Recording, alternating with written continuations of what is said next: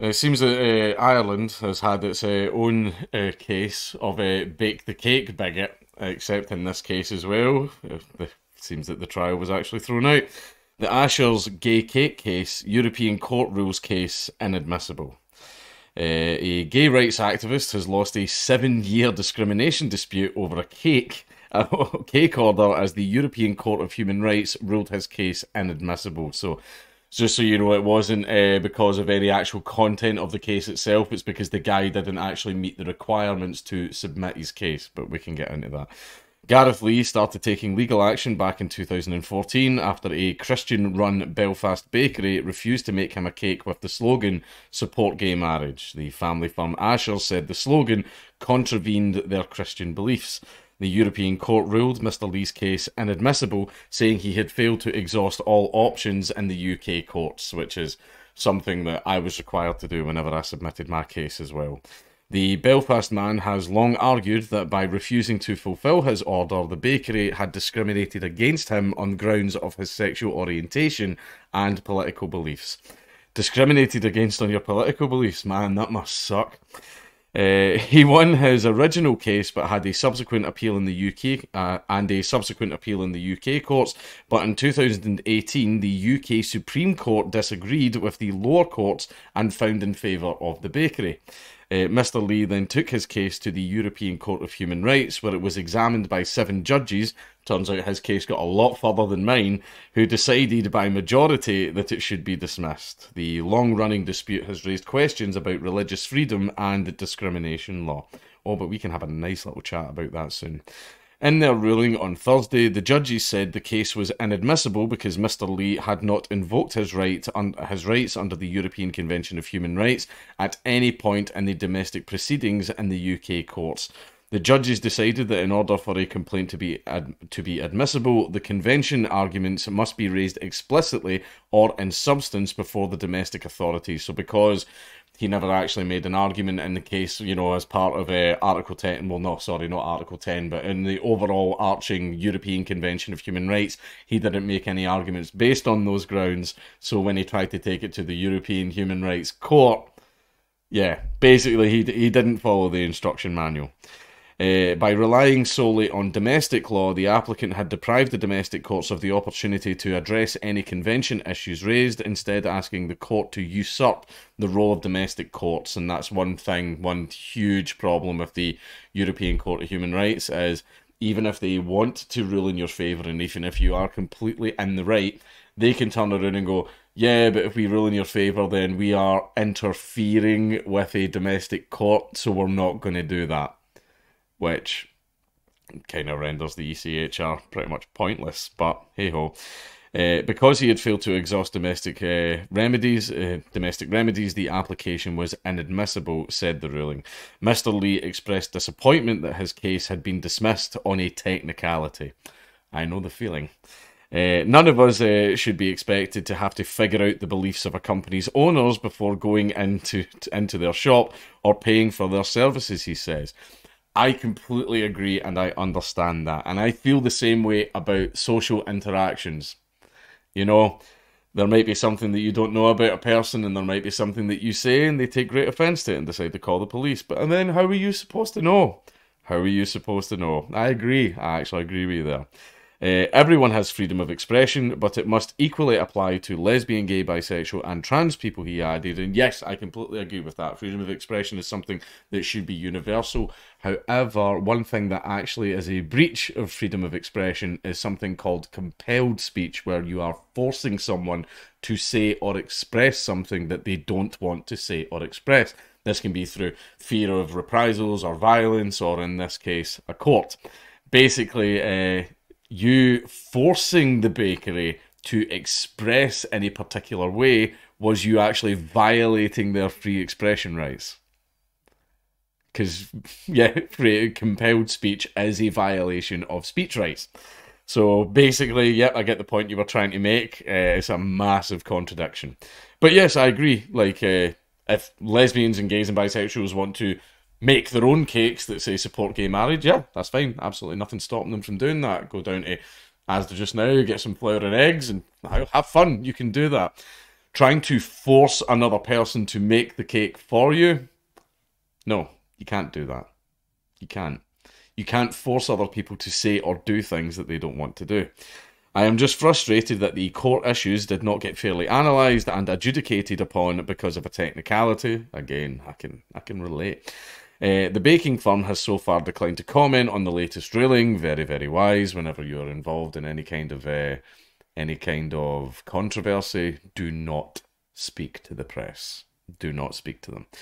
A lesser person. The case began in 2014 when Mr. Lee visited a Belfast branch of Ashers Bakery and asked them to bake a cake decorated with the gay marriage slogan. At the, t- at the time, same sex, ma- same sex marriage was still illegal in Northern Ireland, but the law has since changed and same sex weddings have been taking place since February of 2020. never understood, pardon me, never understood the whole marriage thing, like why people wanted it.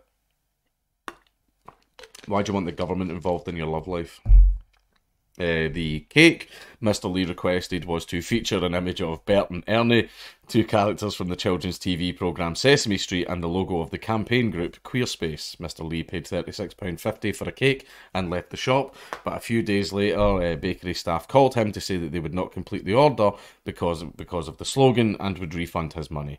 Ashers uh, baking company is run by the McArthurs, a Christian family from County Antrim. Mr. Lee says the decision to refuse his order had made him feel unworthy and a lesser person. He complained to the Equality Commission for Northern Ireland, who supported him in taking a discrimination case against the bakery. Ashers fought the case, arguing they had not returned Mr. Lee's custom away, because he was gay, but because he had asked them to produce something that was contrary to their religious beliefs. So it seems that basically they didn't say, which is true, they didn't say, you can't buy a cake here because you're gay. The reason was, you can't buy a cake here because of the message that you want on the cake. I mean, if he walked in and went, I am a gay man, I would like a chocolate muffin, they, they would have just sold him a chocolate muffin. Right? They, they, they didn't care about that part. But he was trying to force the bakery to express an opinion that they did not want to express. Uh, what is the European Court of Human Rights? The European Court of Human Rights is the court of law for the Council of Europe, an organisation founded in the aftermath of World War II. Let it be known, and some people are this is one thing that's fucking hilarious. Everyone's like, oh yeah, he went to the European Court of Human Rights, even though he hates the EU. It's a completely separate entity. The European Court of Human Rights is a completely separate entity to the EU. Yeah, it was formed after World War II. I think the European Court of Human Rights has been around since before the EU.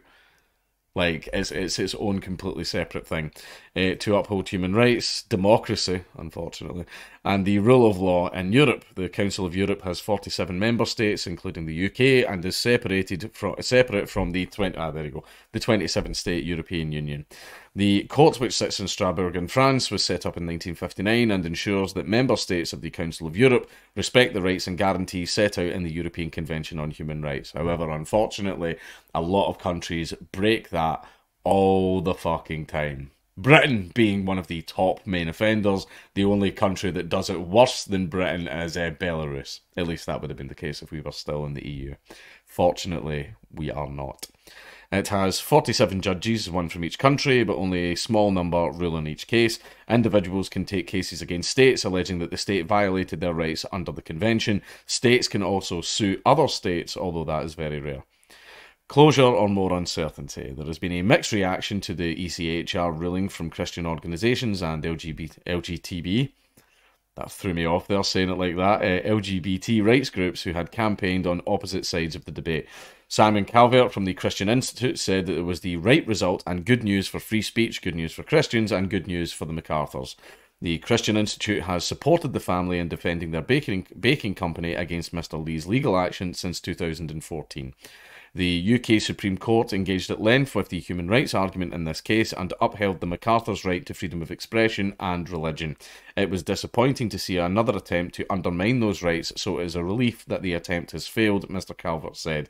And yeah, this guy, uh, in taking them to court, was trying to violate their rights. So the court, in throwing it all out, it made the right decision.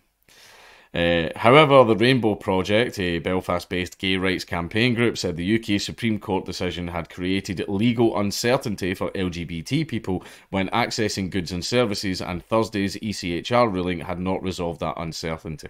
Now, here's the thing is, right, there are laws, uh, and there are British laws that say that. Uh, companies are not allowed to like not serve you based on things like race and sexuality and blah blah blah right now I disagree with that, and I think that companies uh, should be able to serve whoever they, you know, whoever they choose.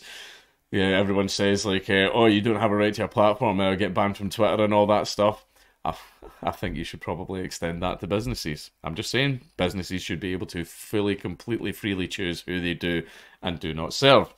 Uh, however, there are laws in place where you say you can't you can't have a sign on the door that says no colours and all that type of stuff as well. However, we've already established that they didn't refuse to make the cake because he's gay. They refused to make the cake because they, he was asking them to express and produce an image that went against their beliefs, and then he tried to compel their speech by taking legal action against them. Uh, so basically, like LGBT, you can go into whatever shop, bar, whatever the hell you want, and you can buy stuff. You just can't force the owners to do something that violates their rights. I'm sorry, tough titty. Turns out rights are important and rights are nice. See those things that you've been fighting for for the last 50 years? Yeah, we have them too. We have them too. We'd like to keep them. You know, they're, they're shrinking more and more every single day and uh, you are, you know, the things that you campaigned for, we, we, we think we would like them as well. We quite enjoy them. So if you could, you know, stop trying to take them away from us, that that'd be great. The Rainbow Project affirms our un- fundamental belief in freedom of religion for all people. However, this freedom cannot be extrapolated into privately owned business. Yes, it can. Yes, it absolutely can. And used as a justification for discrimination, said its director John O'Doherty. I would argue that this guy, by uh, taking them to court, was discriminating against them based on religion there was a religion. But I'm not a Christian. I'm not big on the whole religious religious uh, side of things, right? But the fact that they went, we're not doing this for religious reasons, and you tried to force them, you were discriminating against them. I'm just saying. Uh, fellow LGBT campaign group Stonewall, Stonewall, they can fuck right off. Also said Thursday's ECHR decision leaves the door open for legal uncertainty across the UK. No, there's no legal uncertainty whatsoever. The law is uh, pretty much crystal clear on that and causes continued unease for our communities. Our thoughts are with Gareth Lee, who deserved more support from the European courts after seven years of working towards equality.